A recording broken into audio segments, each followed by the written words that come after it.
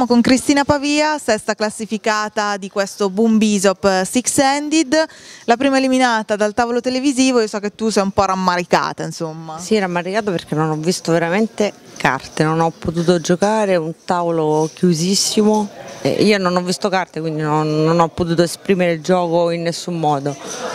Ho provato oh, a giocare una mano e sono uscita. Sono morta praticamente di buio, ero troppo corta e non non vedendo carte non si gioca. Esatto, esatto, vabbè, anche la sfortuna, però voglio dire, insomma, comunque un ottimo risultato sia per la squadra che per te. Soprattutto per la squadra penso di aver fatto il massimo, cioè card dead totale, tutto il tavolo. Ho visto una volta, una, cioè per dire solo l'asso, asso, asso, non chicherato.